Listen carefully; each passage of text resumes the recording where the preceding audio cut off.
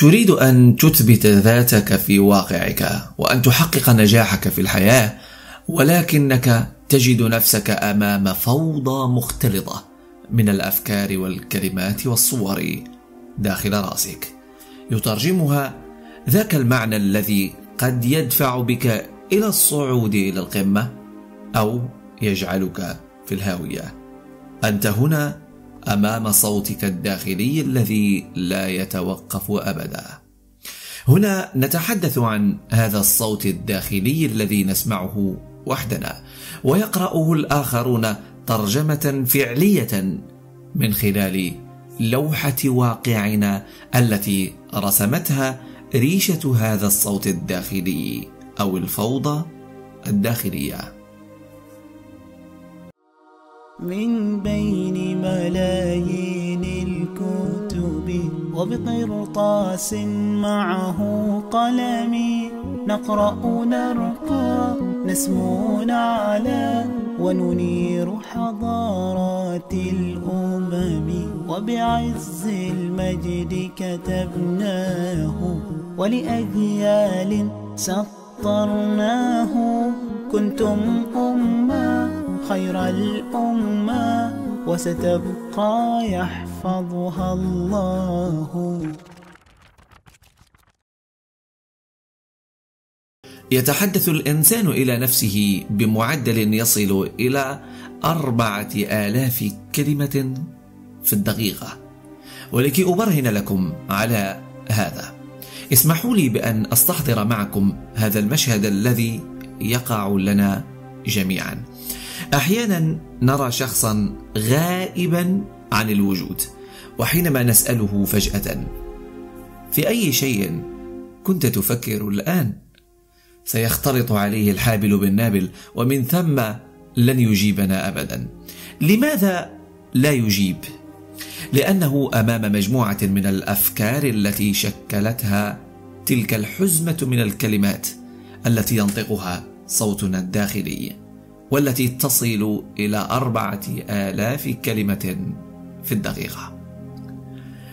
كنا نتحدث في مرحلة طفولتنا أثناء اللعب بكلام متفرغ. معظمه أسئلة فلسفية لفهم العالم ولادراك الواقع. كان حديثنا هو ذاك الصوت الذي أصبح داخلنا بعد أن كبرنا. فلم يعد يسمعه ذاك الذي من حولنا كما كنا في طفولتنا. فهذا الصوت قد أصبحنا نسمعه وحدنا. ربما يبدو هذا العالم هادئا بالنسبة لمن يحيط بنا ولكننا نعيش فوضى داخلية. قد تكون هذه الفوضى هي السبب في تنظيم عالمنا الخارجي أو أنها قد تكون فوضى مدمرة لعالمنا الخارجي. ولذلك يقول إيثان كروس الصوت الداخلي قوة عظمى نمتلكها وهي تميزنا عن الأنواع الأخرى. نحن من نتحكم في هذا الصوت. إذا لم نجعله محفزا لنا سيتحول إلى صوت سلبي يبقينا في عالم الفشل والدمار. ولذلك يعيش الإنسان الذي يريد أن يشق طريقه لغاية معينة ذاك الصراع الداخلي الذي يترجمه هذا الصوت الذي لا يسمعه الآخر.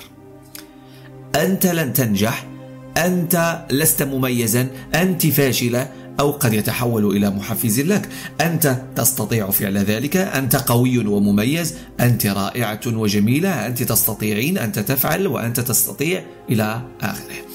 وإذا ما استمر هذا الصوت الداخلي صوتا سلبيا فإن النتيجة حتما هي الإصابة بالإكتئاب والتوتر الزائد والقلق والأمراض النفسية التي قد تتحول إلى أمراض جسدية سنعود إلى بعض الحلقات المتعلقة بهذه الجوانب.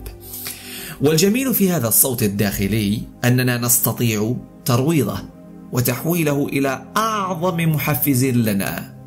ولو جلسنا نخاطب أنفسنا مدة زمنية بجملة إيجابية فإننا نتحول إلى إيجابيين.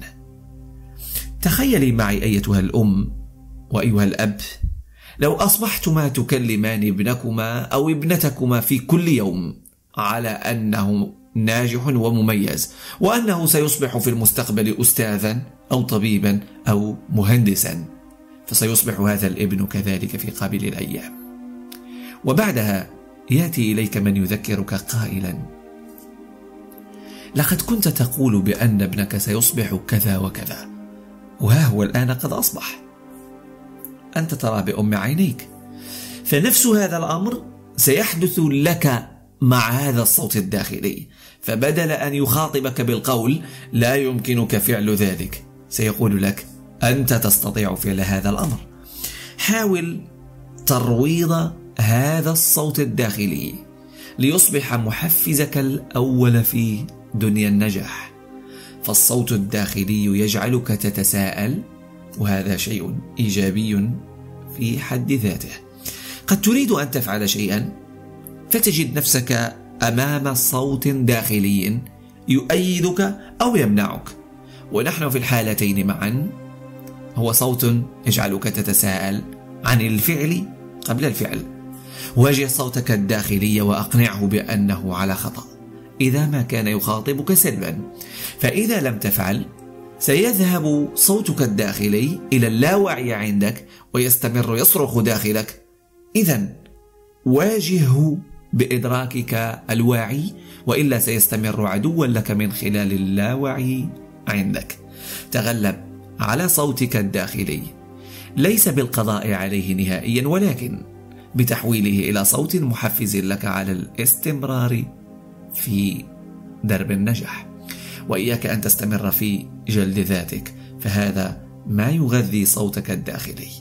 وإذا ما رأيته يسعى إلى أن يدمرك عن طريق حواراته السلبية الفوضوية.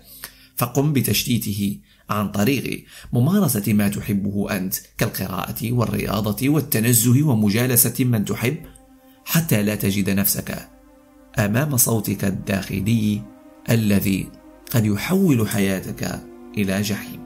قم بترويضه وسيحول حياتك إلى نعيم. صوتي الداخلي الآن يقول لي قل لمن يشاهد هذه الحلقة. ضع لنا اعجابا واترك لنا تعليقا محفزا. فترجمته إلى جملة أسمعتكم إياها. فشكرا لكم على المشاهدة والإعجاب والتعليق والاشتراك في القناة. في أمان الله. من بين ملايين الكتب وبقرطاس معه قلم نقرأ نرقى نسمو على وننير حضارات الأمم.